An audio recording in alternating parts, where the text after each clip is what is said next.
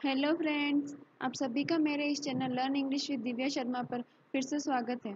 आज हम पढ़ेंगे marriage is a private affair ये चिनुआ एचेबी द्वारा लिखी गई एक शॉर्ट स्टोरी है तो चलिए शुरू करते हैं अब इस कहानी को। शुरू करने से पहले अपन थोड़ा पोइट के बारे में जान लेते हैं।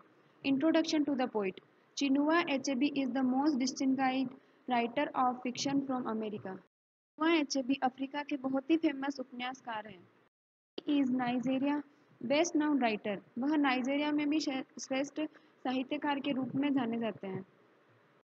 Of his well known novels are things fall apart arrow of god a man of the people character of this novel Nene Emeka Okeke Bogo short story के कैरेक्टर हैं। अब स्टोरी शुरू करते हैं। नीन और नेमेका दो लवर्स होते हैं। वो लेगोस नाम की एक जगह पर बैठे हुए होते हैं। से पूछती है कि नेमेका क्या तुमने अपने पिता को लेटर लिख दिया है हम दोनों की शादी के बारे में? लेकिन नेमेका उसे मना करता है कि, नहीं, अभी तक मैंने लेटर नहीं लिखा है। तो नीन वापस उसे पूछती है कि, क्यों नहीं लिखा? तुम लिख दो। तो वो बताता है कि, मैं जब गर्मी की छुट्टियों में घर जाऊँगा, तब मैं बता दूँगा घर पर। तो वो बोलती है कि वो तो बहुत दूर है, अभी बता दो, ताकि तुम्हारे पिताजी भी हमारी खुशी में शामिल हो जाए। लेकिन नेमेका थोड़ा विचार करने बैठ जाता है।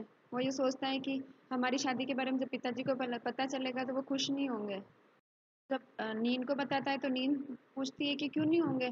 ऐसा तो नहीं है कि जब किसी भी आदमी के बेटे की शादी हो रही होती है तो वो खुश ही होता है, लेकिन तुम्हारे पिताजी क्यों खुश नहीं होंगे? कहता है कि ये जब शादी का रिश्ता है, उनके द्वारा फिक्स नहीं किया गया है तो वो दुखी भी हो सकते हैं और तुम भी नहीं हो, इस वजह से भी मेरे पिताजी शादी के लिए मना कर सकते और दुखी हो सकते हैं। में रहती है तो उसे लगता है कि नेमरेका ये जो बातें कर रहा है, उसको एक सिर्फ़ मज़ाक लगता है। वो इस बात को सीरियस नहीं लेती है। और वो बोलती है कि ईबो कुंबे के जो लोग होते हैं, वो अन्य लोगों के साथ तो अच्छे से बिहेव करते हैं तो फिर हमारी शादी के लिए तुम्हारे पिताजी मान ही जाएँगे। कहता है कि अगर तुम्हारे फादर ज़िंदा होते नींद, और वो अगर इबेबो की भूमि पर रह रहे होते तो उनका बिहेवियर भी वैसे ही होता जैसे मेरे फादर का है। कहती कि मैं नहीं जानती इन सब बातों को। मुझे लगता है कि तुम्हारे पिताजी तुमसे बहुत प्यार करते तो वो तुम, तुम्हारी शादी की इस बात के लिए तुम्हें मना नहीं करेंगे। वो इस बात के लिए मान जाएँगे। ऐसा करो कि एक अच्छे बेटे बन के उनको एक पत्र लिख दो। मेका कहता है कि नहीं, मैं पत्र नहीं लिखूँगा, क्योंकि जैसे ही वो पत्र खोलेंगे तो उनको बहुत बड़ा धक्का लगेगा और वो अपने आप को संभाल नहीं पाएँगे। मैं जब घर जाऊँगा तभी इस बारे में उनसे बात करूँगा। नेमेका शाम को अपने घर जाता है तो वो देखता है कि उसके फादर का ऑलरेडी पत्र उसके पास आया हुआ होता है और उसके फादर ने उसके लिए किसी एक लड़की को चुन लिया होता है। सोचता है कि ये बात वो नींद को जाके बताते, लेकिन दूसरे ही पल सोचता है कि नहीं, ये बात उसको नहीं बतानी चाहिए। और उसके फादर ने जिस लड़की को चुना होता है, उसका नाम होता है वेग। नाम पढ़ा, उसको याद आ गया कि ये युगोई वीरंगना वही थी जो सब लड़कों को पीटती थी। नेमेका को भी साथ में पीटती थी, लेकिन पढ़ाई में बिल्कुल मूड थी। कि ये लड़की तुम्हारे लिए बिल्कुल सही है और मैंने विवाह करने का सोच लिया है। है कि मैं सोचता हूँ कि जब तुम दिसंबर में घर आओगे, तब हम इस शादी के बारे में आगे बात करेंगे। नेमेका जब दिसंबर का टाइम आता है तो अपने घर जाता है और अपने फादर के पास जा कर के बैठा होता है। तो एक दिन तो कुछ नहीं बोलता और नेक्स्ट डे अपने फादर से बात करने जाता है। से कहता है कि पिताजी, मैं आपसे माफ़ी मांगने आया हूँ। तो उसके फादर कहते हैं कि, क्यों? किस बात की माफ़ी मांग रहे हो बेटा? तो बोलता है कि, मैं ये शादी नहीं कर सकता हूँ। तो उसके फादर बोलते हैं कि, क्यों नहीं कर सकते तुम ये शादी? वो बोलता है आगे कि नहीं, मैं इस लड़की से जिससे आप शादी करवा रहे हो, मैं उससे प्यार नहीं करता हूँ। लड़की से शादी करना एक असंभव बात है, मैं इससे शादी नहीं करूँगा। कि हाँ आज दिन तक किसी ने नहीं किया है कि पहले प्यार हो, फिर शादी हो। तो वो बोलता है, नहीं, मैं कहा कि फादर, पहले जो था वो अलग था, शादी का मामला, और अभी जो है वो डिफरेंट है बहुत। जाने लगते है कि बेटा, कुछ भी विन नहीं है, लेकिन उसका बेटा नहीं मानता है। कि हम क्रिश्चियन में एक अच्छी पत्नी की तलाश होती है जिसका अच्छा चरित्र हो, जो एक कृष्ण पालन पोषण वाली हो तो ये सारी जो खूबियाँ हैं, वो इस लड़की में है। तो फिर तुम क्यों मना कर रहे हो? उसे बता देता है कि मैं एक दूसरी लड़की, जिसमें युगो के जो सब गुण हैं, उससे भी ज़्यादा उसमें गुण है, और मैं उससे शादी करने के लिए वचनबंद हूँ, यानी मैं उससे शादी करने का प्रोमिस कर चुका हूँ। जब ये बात सुनते तो उनको लगता है कि ये मज़ाक कर रहा है। वो उससे वापस धीरे से पूछते, घबराते हुए कि, क्या बोला तुमने? है कि, वह एक अच्छी ईसाई है। बेगोस में लड़कियों के स्कूल की अध्यापिका भी है। यदि तुम एक अच्छी पत्नी की योग्यता समझते हो तो मैं तुम्हें बताना चाहूँगा नेमिका कि एक क्रिश्चियन लड़की को कभी भी पढ़ाने नहीं जाना चाहिए। गुरु या किसी के बारे में बताते हैं कि औरतों को पढ़ा, अपनी चुप्पी रखनी चाहिए, यही सबसे बड़ा धर्म है। उनको पढ़ाने जाना, ये सब एक अच्छी औरत के गुण नहीं है। पूछते हैं, खैर बताओ, वह किसकी पुत्री है? बताता है कि वह नील एतंग है। तो वापस क्वेश्चन करते क्या तुमने नील एतंग कहा? उसका मतलब है कि वह केलेबार की नील एतंग है। बोला हाँ और मैं उसी लड़के से शादी करना चाहता हूँ।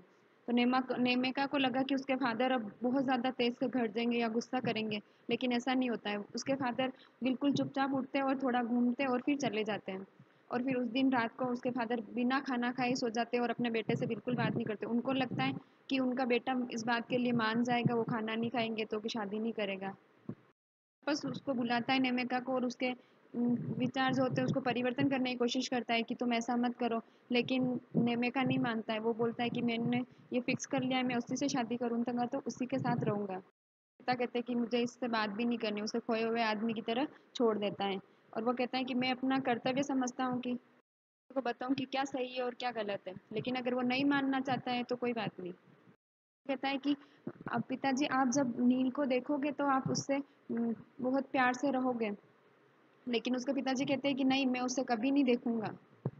मेका वहीं पर रुकता है और फिर वापस लेगोस चला जाता है। वहाँ जा कर के वो नीन से शादी कर लेता है और वहीं रहने लग जाता है। शादी के बाद वह वापस अपने फादर को पत्र भेजता है और उसमें नीन और उस दोनों की फ़ोटो भेजता है। लेकिन उसके फादर उसकी, अपने बेटे की फ़ोटो रख लेते हैं और नीन की फ़ोटो वापस फाड़ करके और अपने बेटे के पास वापस लेटर भेज देते हैं। और वो लिख देते हैं कि, मुझे तुम्हारे से मतलब है। तुम्हारी वाइफ नींद से कोई मतलब नहीं इसलिए उसका पिक वापस भेज दिया है मैंने।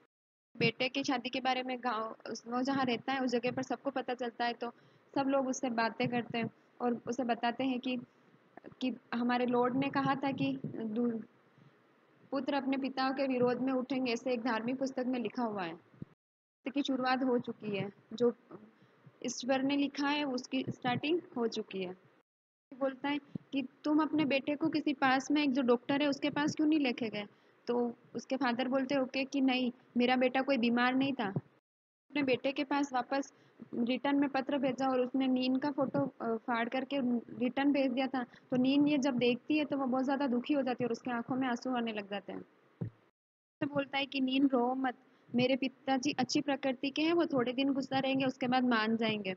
लेकिन नीन कहती है कि कब कब मान जाएँगे तुम्हारे पिताजी? इतने साल हो गए, अभी तक उन्होंने हमसे बात तक नहीं की और तुम्हारा फ़ोटो रख लिया और मेरा फ़ोटो वापस रिटर्न में भेज दिया है। आठ साल बीत चुके हैं, लेकिन ओकिक ने अपने पुत्र और अपनी पुत्र वधु के साथ कोई भी संबंध नहीं रखा है। ने उसे तीन बार पत्र लिखा कि हम गर्मी की छुट्टियाँ बिताने के लिए आपके घर आना चाहते हैं तो वो वापस रिटर्न में वापस लेटर भेज देता है।